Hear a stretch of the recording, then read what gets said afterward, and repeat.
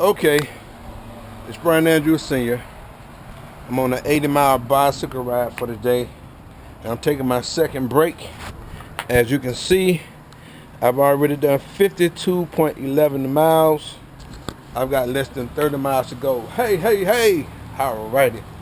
It's gonna take me a little break. Got me some Powerade.